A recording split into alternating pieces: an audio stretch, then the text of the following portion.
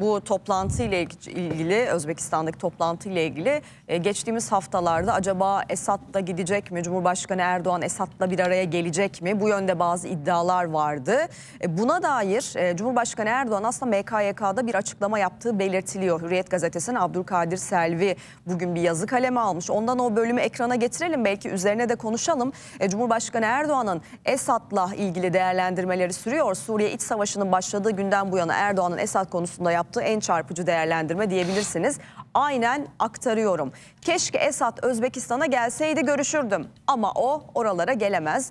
Onun yüzünden, onun tutumundan dolayı Suriye bölünmek üzere o kendi iktidarını korumak için muhaliflerle savaşa tutuştu. Kendi iktidarını korumayı tercih etti. Kendi kontrol ettiği alanları korumayı düşündü ama büyük toprakları koruyamadı. Keşke Özbekistan'a gelseydi görüşürdüm. Bunları yüzüne karşı söylerdim. Biz o zaman kendisine bak böyle yaparsanız Suriye bölünür dedik. O muhalifler için bunlar kalabalık ama silahları yok diye düşündü. Bizim uyarılarımızı dikkate almadı ama oraya Amerika'nın, Rusya'nın gireceğini düşünmedi. Kendi iktidar alanını korumayı tercih etti. Ancak Suriye'nin büyük topraklarını koruyamadı şeklinde Cumhurbaşkanı Erdoğan'ın MKYK'da bir görüş e, belirttiğini söylüyor Abdülkadir Selvi. E, Ferhat Bey sizle devam edeyim. Bu kapsamda Suriye ile ilgili, Esad'la ilgili Cumhurbaşkanı Erdoğan bu açıklamalarını da değerlendirmek lazım. Yakın zamanda şimdi böyle bir açıklama yaptıktan sonra acaba yakın zamanda böyle bir temas olur mu olmaz mı noktasında insan düşünüyor. Sizin fikriniz nedir? Yani e, tabii ki öncelikle bu bir kulis bilgisi anladığımız kadarıyla. Evet.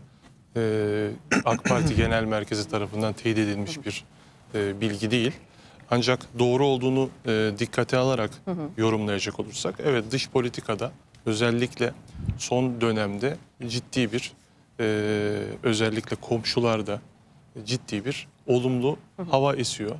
E, Suriye politikası da e, özellikle son dönemde AK Parti dış politikasının çok e, pozitif bir şekilde ilerlemesinin bir e, göstergesi olacaktır. Çünkü Suriye ile irtibata geçmek e, şu dönemde artık elzem bir pozisyon haline geldi. E, bu noktada e, tabii önümüzdeki günler neyi gösterecek hep beraber e, göreceğiz, izleyeceğiz ama e, Mısır'la olan, İsrail'le olan e, tekrar normalleşme sürecinin yakın gelecekte Neden bölge- Suriye ile olması? neden Suriye ile o- olmaması noktasında herhangi bir engel gözükmüyor. Tabii bakın işte bugünkü fotoğrafı konuşuyoruz. E, Şangay e, İşbirliği Teşkilatı ile alakalı. E, Rusya masanın bir tarafında, İran masanın bir tarafında, e, Suriye e, bir şekilde e, bizim coğrafyamız içerisinde e, etkili e, olmamız gereken alanlardan bir birisi. Bu bağlamda ben e, yakın zaman içerisinde e, bir irtibatın sağlanabileceğini düşünüyorum. Fotoğraf konusunda aslında biraz da uzmanlık alanım. Tabii tabii onu da yorumlayın. Ee, buyurun. kısa bir yorum olarak onu da e, belirteyim istiyorum.